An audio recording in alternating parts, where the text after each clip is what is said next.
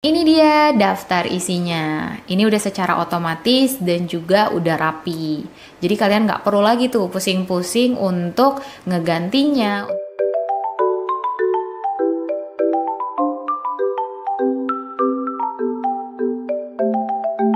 Assalamualaikum, hai guys, welcome to my YouTube channel. Jadi di video kali ini aku pengen sharing ke kalian bagaimana cara membuat daftar isi secara otomatis di Word. By the way, sebelumnya tuh aku udah pernah buat konten ini, tapi yang membedakan konten ini dengan konten sebelumnya, aku pengen ngasih tahu di sini tuh cara membuat daftar isi secara otomatis. Terus yang kedua adalah cara merapikan dan yang ketiga kita nggak perlu ngedit-ngedit lagi kalau misalkan kita ada penambahan materi ataupun misalkan kita ada penambahan nomor halaman. Oke, tanpa berbasa-basi, langsung aja kita ke tutorialnya. Oke guys, kita buka dulu filenya. By the way, ini filenya udah aku kasih nomor halaman. Nah, buat kalian yang belum kasih nomor halaman, sebelum kita buat daftar isi secara otomatis, kita harus buat dulu nih nomor halamannya. Kalau buat kalian yang belum tahu cara membuat nomor halaman, kalian bisa ikutin tutorial aku, videonya ada di sebelah kanan. Setelah kalian udah tonton video itu, baru nanti kita lanjut ke daftar isinya. Oke, ini buat kalian yang udah kasih nomor halaman, kita langsung aja buat daftar isinya. Di sini kalian bisa lihat, ini pertama itu ada cover. Terus untuk yang kedua ini ada kata pengantar. Pertama-tama yang kita lakuin itu adalah ini bab kayak begini, kita bikin ke judul satu. Judul satunya itu kita klik kanan ya. Setelah itu kita klik perbaharui judul satu agar sesuai pilihan. Oke, ini kita lakuin di setiap halaman yang ada bab yang atasnya itu. Nah ini daftar isi. Untuk daftar isi kalian nggak perlu isi karena nanti kan kita buat secara otomatis. Terus ini kita buat juga di judul satu. Selanjutnya di sini ada abstrak. Abstraknya ini berbahasa Indonesia. Ini sesuaiin dengan file kalian ya. Kalau misalkan ada lembar pengesahan, kalian juga lakuin taruh di judul satunya. Oke, di sini ada abstrak untuk yang berbahasa Inggris. Terus kemudian ini bab satu pendahuluan sama juga kita buat di judul satu. Di sini kalian bisa lihat di subbab ini ada satu titik satu, satu titik dua. Ini tuh otomatis. Kita buat secara manual supaya nanti daftar isi kita tuh rapih. Caranya adalah ini kita hapus dulu. Setelah itu kita tulis satu titik satu kita ke arah kata pertama yang ada di latar. Nah, di de di depannya L. Habis itu kita tab di keyboard kalian ada tulisan tab, kalian tab. Setelah itu L-nya kalian hapus. Dan kalian main di penggaris ini. Nah, cara main di penggaris ini kalian bisa lihat ini, ini ada yang paling bawah, ini kita klik. Habis itu kita pindahin ke arah sini. Karena sesuai margin aku ya. Setelah itu kita main yang ada di atas ini nih, inden kiri. Kita pindahin kita pindahin ke sisi satu. Bentar. Nih. Oke. Habis itu kita tulis kata L. Jadi ini manual. Bukan otomatis. Nah, itu kita lakuin di subbab selanjutnya. Ini kan satu titik dua harusnya kan. Jadi kita buat satu titik dua tab karena otomatis kita hapus lagi. Setelah itu kita pindahin lagi dan kita main di penggaris. Identifikasi masalah. Dan di sini yang kita lakuin adalah kita kita bold semuanya dan kita jadiin judul kedua. Nah, ini kan berubah nanti ya.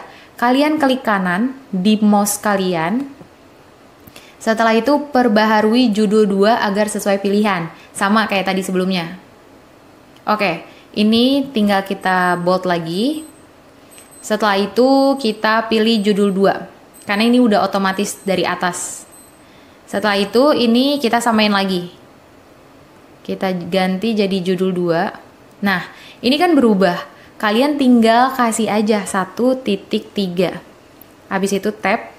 Nah, kayak gitu ini nanti dia udah otomatis di judul 2 ini sama juga di judul 2 kita taruh lagi 1.4 tab Nah, ini kan dia udah masuk ke judul 2. Kita lakuin di bab 2, bab 3, dan bab 4, bahkan sampai ke bab 5 di penutupan. Kalian bisa lihat ini masih otomatis. Habis itu kita hapus saja. Setelah itu kita kasih 2.1. Jangan lupa kita ke kata pertama. Habis itu tab. Habis itu kita hapus. Setelah itu kita tambahin perlindungan. Dan kita main di penggaris ini. Sama di bawah sini.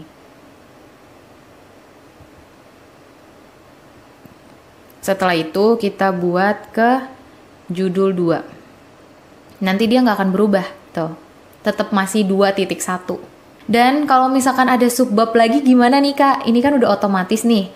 Sama itu kita lakuin hal yang sama kita hapus lagi. Setelah itu kita klik 2.1.1 setelah itu kata pertamanya kita tap lagi. Habis itu kita tulis P dan di sini kita hapus P. Kita pindahin ke angka 1 sini.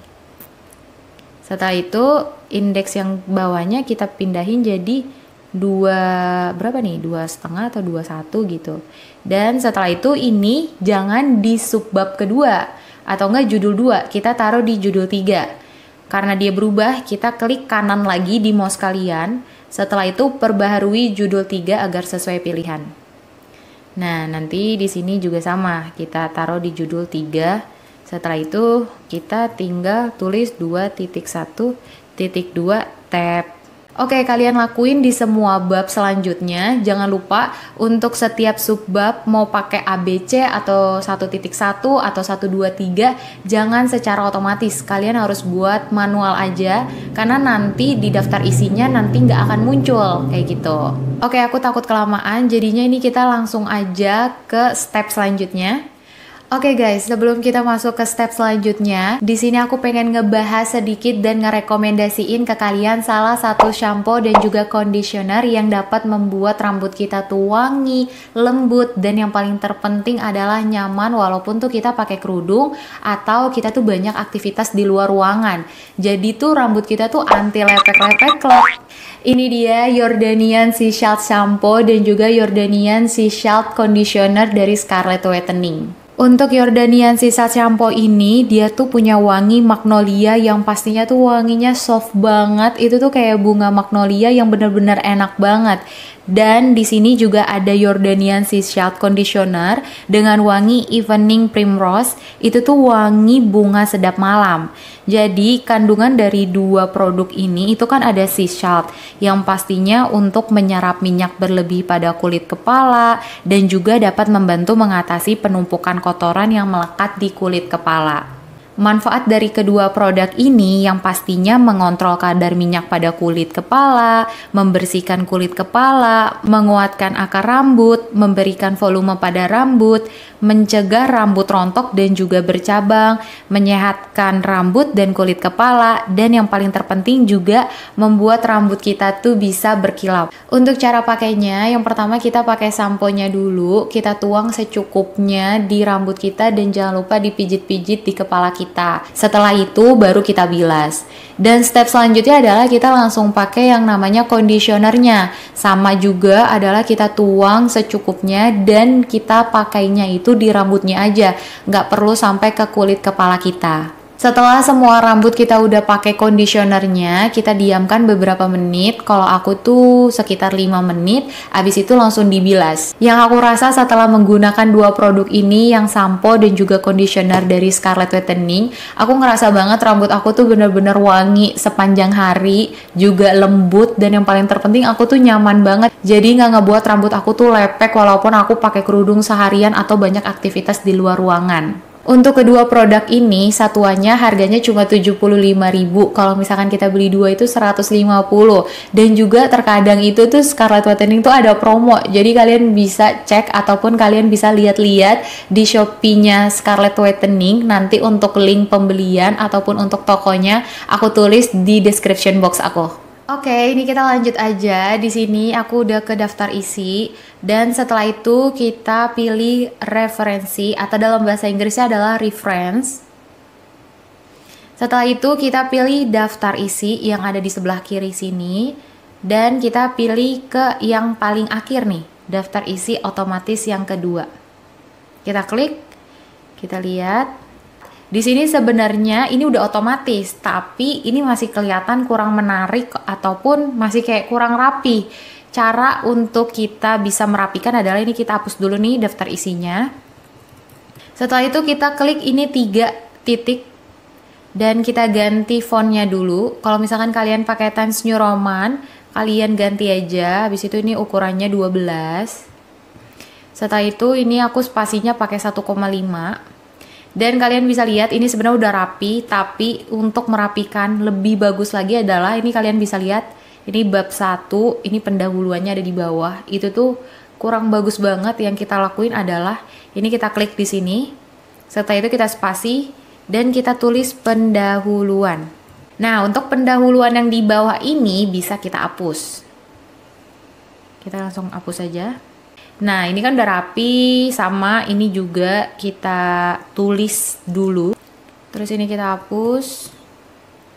Kita lakuin hal yang sama, bab tiganya adalah eksekusi. Jangan sekali-sekali di copy habis itu kita pindahin paste ke sini karena nanti hasilnya bisa jelek. Jadi ini kita manual aja supaya nanti filenya bisa rapi.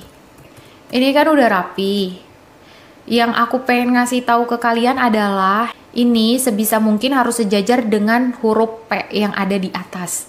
Jadi caranya adalah ini kita bold sampai ke penulisan. Setelah itu kita main yang namanya penggaris. Penggarisnya kita bikin sampai angka ke satu. Setelah itu ini yang ada di bawah nih inden gantung. Ini kita pindahin ke angka 2 atau enggak nih. Ini bisa lihat ya. Ini bisa ngebeda ini. Bentar. Ini kakak dua. Kalau misalkan dia nggak berubah, di sini ada juga kayak huruf L kecil kayak gitu. Ini kita pindahin. Nah ini ngaruh kan tuh, pindah. Ini dia ngaruh tuh pindahnya. Kita bikin ke angka 2 aja. Kita lakuin juga di hal yang sama di sini juga. Ini kita pindahin ke angka 1, setelah itu ininya kita pindahin ke angka 2. Dan untuk yang ini sama juga, ini kita bold, setelah itu ini kita pindahin karena tadi udah di angka 2, kita pindahin di angka 2 juga. Setelah itu ininya kita main di angka 3 atau tiga setengah. Ini sama. Kalian bisa lihat di sini udah rapi banget kayak gitu. Terus kalau misalkan kalian ada yang tanya nih, Kak, kalau misalkan seperti halamannya ada penambahan materi gitu, terus kalau kita ngeditnya gimana? Contoh nih ya, Misalkan ini di bab 1 ini halamannya 111 semuanya. Kita misalkan ada penambahan nomor, kita pindahin dulu. Nah, di sini misalkan sampai angka 4 lah ya. Ini kita enter aja dulu. Jadi dia ada di halaman 2, kayak gitu. Itu misalkan penambahan nomor ya. Atau enggak penambahan materi. Ini kalian lihat, ini ada di halaman kedua. Terus ini ada di halaman 1. Berubah nih satu titik empatnya, subbabnya untuk di daftar isinya bagaimana cara kita memperbaharui kayak gitu. Kalian bisa lihat di sini angkanya 11111 sampai 1.6. Cara yang dapat kita lakuin itu adalah dengan dengan cara kalian perbaharui tabel. Setelah itu yang kalian lakuin adalah ini nih, perbaharui nomor halaman saja. Jangan sampai kalian klik yang perbaharui seluruh tabel. Karena kalau misalkan kalian pilih ini nih, kalian bisa lihat dia berubah ke aslinya. Jadi yang perlu kita lakuin adalah perbaharui nomor halaman saja. Kita okein, kita lihat nih. Nah, kalian lihat, berubah kan untuk 1.4, 1.5, dan 1.6-nya. Dan ini dia daftar isinya. Ini udah secara otomatis dan juga udah rapi. Jadi kalian nggak perlu lagi tuh pusing-pusing untuk ngegantinya, untuk nambahin halaman dan lain sebagainya. Oke okay guys, itu dia tutorial aku kali ini. Semoga bermanfaat dan juga dapat membantu kalian untuk mengerjakan laporan-laporan dan juga tugas-tugas sekolah ataupun kuliah kalian. Kalau misalkan kalian suka dengan video ini, jangan lupa subscribe, like, komen, dan share ke sosial media kalian. Thank you for watching, sampai ketemu di next video. Bye-bye!